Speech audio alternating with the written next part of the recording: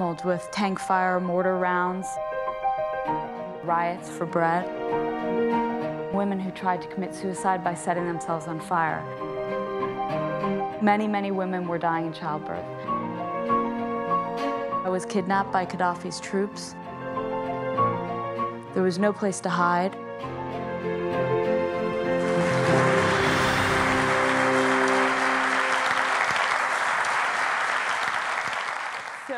I was 26 uh, the first time I went to Afghanistan, and I had been li living in India at the time. And I had a roommate who went to Afghanistan under the Taliban, and he came back and he said, You know, you're a woman. You should go to Afghanistan and photograph women living under the Taliban because no one's doing it. And uh, he didn't tell me that photography was illegal at the time, that you couldn't photograph any living thing, and that there was no American embassy, and that the only governing body was the Taliban, which was ruled by Sharia law. Uh, but I was 26 and I didn't care, and so I went. And I took some pictures of women. I kept my cameras in my bag and I ran around to people's homes. And I went to the hospitals. This was a woman's hospital in 2000. There was no medicine, very few doctors. This was a woman in labor. This is a very typical scene on the streets of Kabul. This was the capital at the time. There were almost no cars. Women beggars were really the only women you would ever see on the street. Any form of uh, entertainment was illegal. There was no music, uh, no television, uh, no cell phones. So when I would go to Afghanistan at the time, I would literally fall off the face of the planet. I would have no idea what was happening outside of Afghanistan.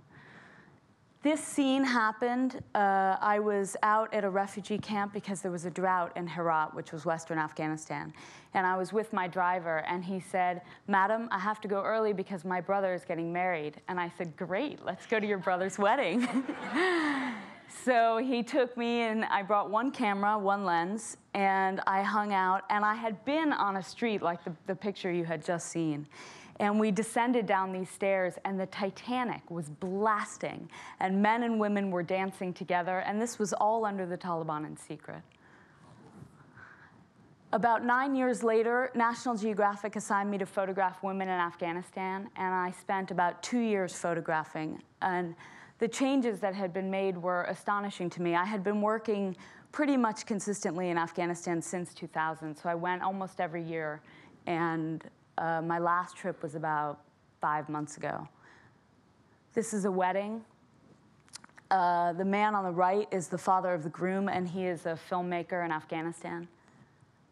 This is a typical scene of a midwife. This is in Badakhshan province, and that province has very few roads, so many, many women die in childbirth in Afghanistan, mostly because of the lack of access to hospitals and doctors. So what you see here is a woman, a midwife from Merlin, and she would go out into very remote villages and they would make an announcement at the mosque, and pregnant women and women with young children would come and meet with her. And after spending about two weeks in Badakhshan province, I was driving back to Faizabad, which was the capital. And I noticed these two women on the side of the mountain. And I said, That's strange, there's no man with those women. And anyone who has worked extensively in Afghanistan knows that there's always a man with a woman. So we stopped the car, and Dr. Ziba, who was my translator and an amazing Afghan woman, she jumped out and we ran up the mountain and she said, What's going on? And the woman in, on the right was in labor and her water had just broken. And they had rented a car, and her husband's first wife had died in childbirth. And he was so determined to not have his second wife die in childbirth that he rented this car. And they were driving from their village to Faizabad, the capital, and their car broke down. And so I said, Get in my car and I'll take you to the hospital. And they said, We can't. We need the permission of her husband.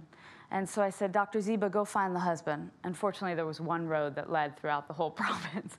so she took our car and she found the husband, and they all came in my car and she delivered. And everyone always asked me if I took if I have pictures of her delivering. And I stopped photographing at the point that I left them, uh, that I put them in my car because I changed the story as a journalist and I didn't feel like it was ethical to keep photographing. Many women in Afghanistan end up in prison simply for asking for a divorce. Uh, for uh, doing things that in the West we would see uh, as not justifiable to end up in prison.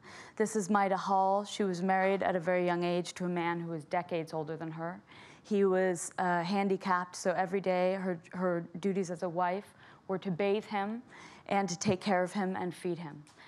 Uh, when she was 21, she asked for a divorce and she was thrown in prison by his brothers. This is a young woman. Uh, women in Afghanistan who are unhappy or who are shamed, they don't take a gun and try and commit suicide the way that we would try to, or that's more typical in the West. They set themselves on fire, and many of those women don't die. So I did a series for the New York Times on women who tried to commit suicide by setting themselves on fire. This young woman had been accused by her neighbors of stealing, and she was so ashamed that she tried to kill herself and she died a few days after that picture. Um, with the Americans uh, in Afghanistan, one thing they tried to do was train up a police force of women. And this is a, at a shooting range outside of Kabul.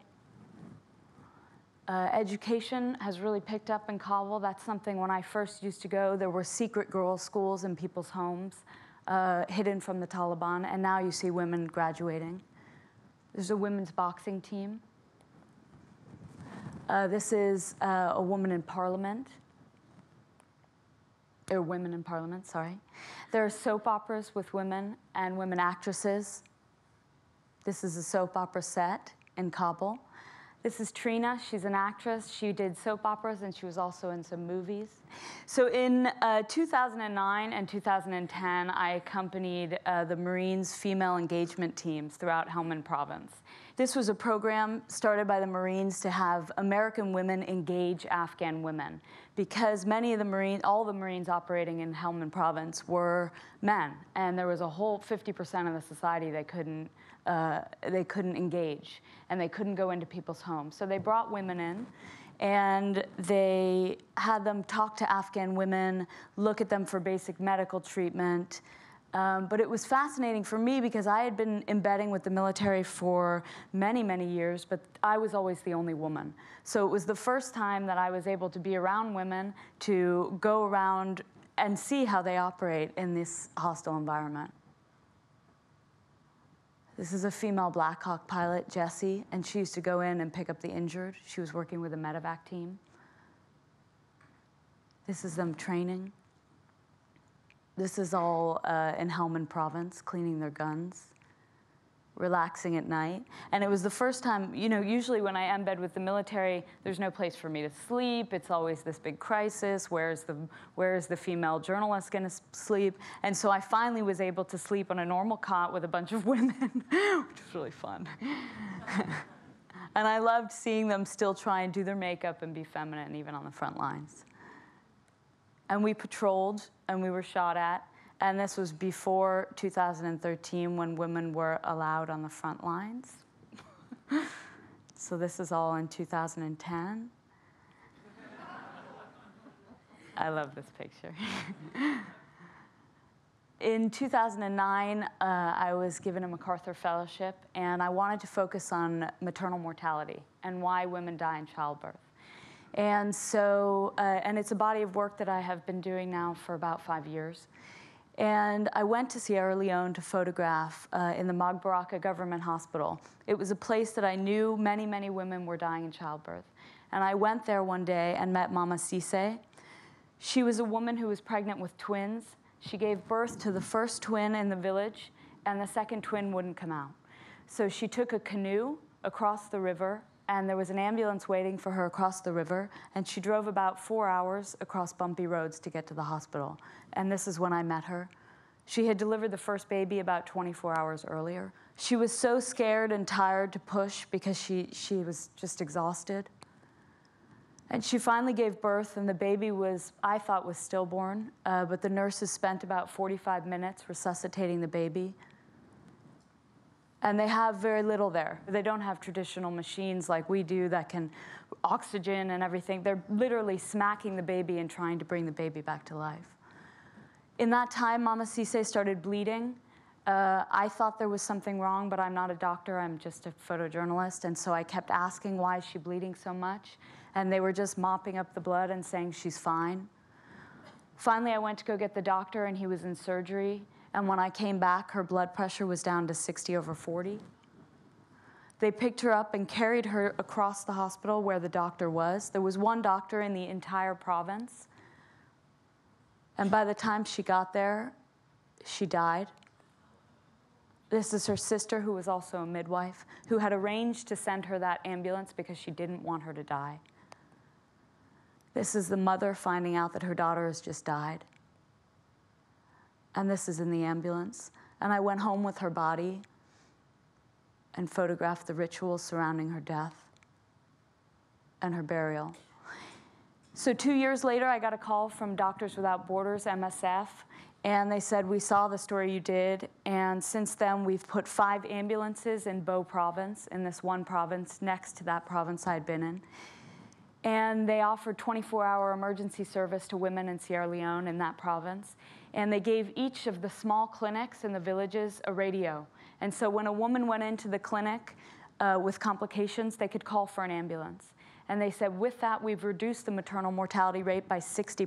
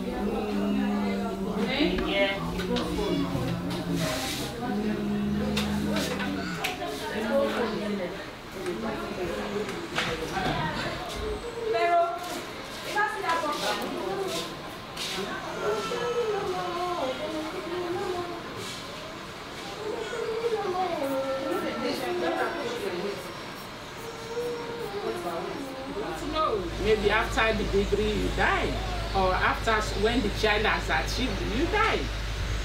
But here, eh, we are risking our lives, so this is an example of risking a life. Some don't survive.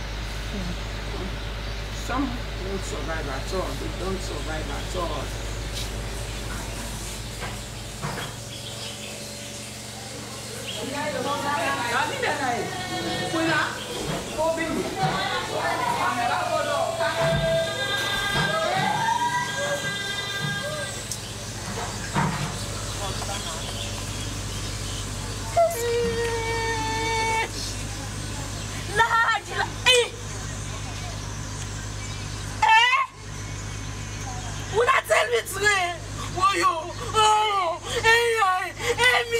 Almost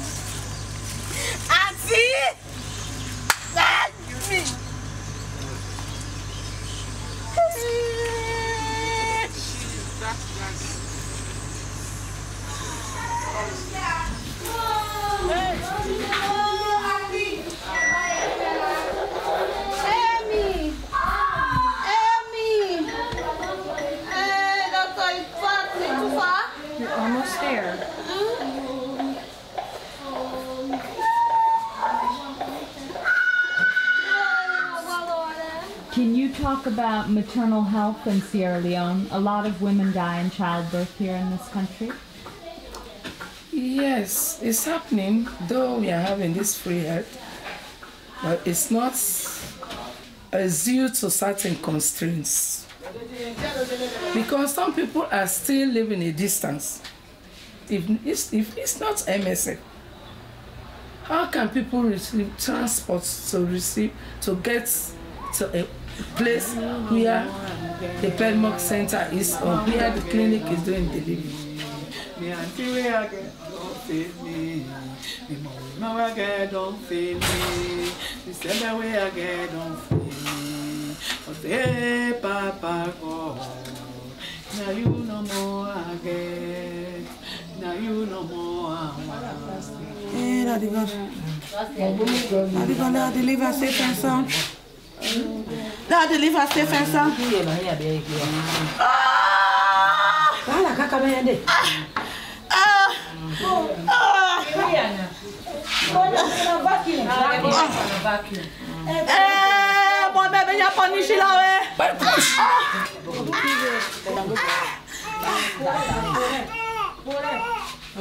Bon,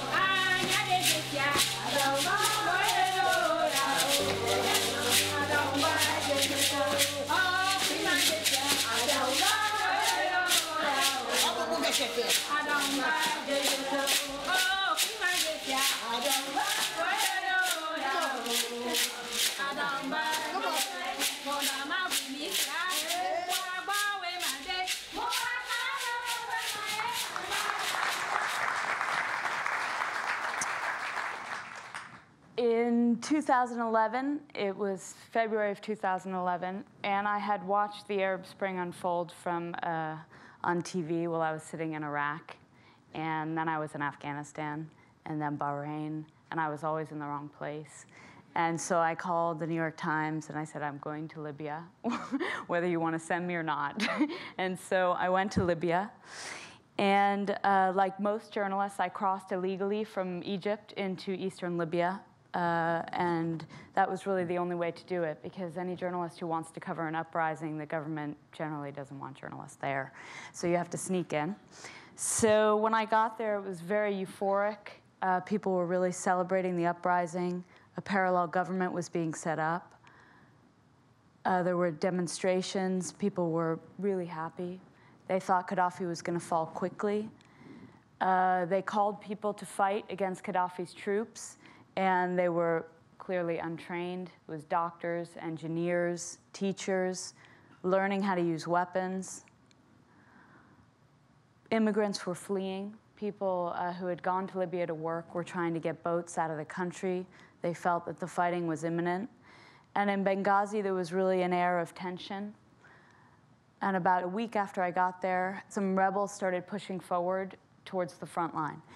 And a handful of photographers, it's always the crazy photographers, uh, who go forward. We started moving forward with Gaddafi's troops. Uh, we ended up on the front line. Uh, this is Ras Lanuf. What you see in the background is an oil refinery. And we followed them as cities fell from Gaddafi's hands into rebel hands. They went in, they would shoot out pictures of Gaddafi, go into homes. The fighting was really disproportionate. Gaddafi had a trained military, and we were with the rebels. And so this is an example of we were on the front line. It was one road that sliced through the desert from west to east. And one day we were on the front line when a helicopter gunship came in directly above us and started spraying the ground around us with 50 caliber bullets, like this big. And uh, they had to fight back with Kalashnikov. Some, some of the soldiers, some of the rebels were throwing rocks up into the air. Many times they just turned around and fled when Gaddafi's military approached. Uh, we had been sort of spoiled by being with the American military, the Marines in Afghanistan and Iraq, and it was very different. Uh, this particular day, we were being pummeled with tank fire, mortar rounds. We would just follow the front line as it pushed back and forward. We were really trying to get a sense of what was happening, and it was before the no fly zone was put in place. So, as journalists, we really wanted to show what was happening so that uh, while, while the no fly zone was being deliberated, we can provide a firsthand picture of what was happening on the ground. The rebels were really getting injured and killed around us. The fighting was very, very intense. There was no place to hide. We would be on the front line and we would hear the hum of an aircraft, and you would literally just hope that it, the bomb didn't land on top of you. Cower in fear. This particular bomb landed about 100, 200 feet from where we were standing. And we pushed forward with them as they took more ground. And several days after the, I took this picture, I was kidnapped by Gaddafi's troops with three other journalists for the New York Times. So that was the last picture in that series. Luckily, I had a premonition that something might happen, so I sent a hard drive out with a, with a colleague and said, if I get taken, uh, please send this to my agency. And that's how I was able to salvage all my pictures. Uh, last year, I wanted to cover what was happening in Syria, but my family begged me not to go into Syria. So I started covering the refugee crisis. And I've made eight trips to the region to Turkey, Jordan, Lebanon, uh, northern Iraq, and I did go once into Syria. And so this is a collection of photos of the Syrian refugees. These are refugees streaming into northern Iraq. And this is them waiting for handouts in northern Iraq after arriving. This is a food distribution in Zaatari when there were riots for bread. This is a family arriving in Zaatari for the first time. And when they're, they're getting registered with the United Nations in Zaatari. And a family sleeping outside at dawn in Iraq. This is um, a funeral for a rebel fighter, and they're cooking. The body was still in Syria, but this is the family cooking. And people were living in caves in Lebanon. I went back to these caves uh, several months ago, and the families have all been moved into makeshift camps. There are no camps in Lebanon because the Lebanese government is, uh, does not want formal camps set up. This is at a bread distribution in Zaatari. And these are the camps on the Syrian side of the border. People were living in raw sewage. Uh, there were no NGOs working there except IHH, uh, Turkish NGO at the time. And this is in Syria. That he was a former uh, fighter and he was living in a school with his family. And this is uh, outside of a smuggler's village in Turkey. And I was waiting to try and photograph the exodus of refugees coming out of Syria. And it's a picture that's very, very difficult to get as a photographer now because all of the neighboring countries have really shut down their borders. And uh, so I stood outside of the smuggler's village because I knew that they were crossing there. And every hour or so, someone would come up to me and say, Get out of here, we're going to kill you. And one guy came up to me and he said, I'm going to go get my knife. And another guy came up to me and said, Just wait till dark because when dark comes, you'll see all the refugees. So I put my cameras in my bag and I waited. And of course, at dark, they all started streaming out. And this is a family living in, uh, in a camp across from a formal camp in Turkey. They were literally living under the trees. And this is that same camp. I just wanted to show you a few on assignment pictures because I think it's funny. This was me in 2001 in Pakistan. This is me in Fallujah crossing illegally into Darfur to cover the war in Darfur.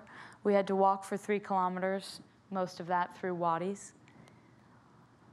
This is, uh, we had lived on the back of this pickup truck for five days, driving through the desert in Darfur. This is the Korengal Valley in Afghanistan. I was embedded with the 173rd. That's me and my colleague in Afghanistan. That's me and that same colleague. sort of like being an actor. and this is us hiding in that silo in Libya on the front line. And this is us on the front line. That's me with Tyler Hicks, uh, and we were taken together. It's Yuri Kozyrev and Nikki Sobecki. And this is uh, an example of where we stayed typically in Libya on the front line. Uh, people, Libyans would just open their homes to journalists who were there. And for example, in this particular house, there were 17 journalists sleeping. And every night we got a knock on the door at about six o'clock, and it was a 10 year old Libyan boy, and he would come with a giant tray of food and just set it down and leave. And so the women who were still in the village would cook for us every night. And on the upper right is Anthony Shadid. He's a colleague, and he died in Syria last year of an asthma attack. And that's it.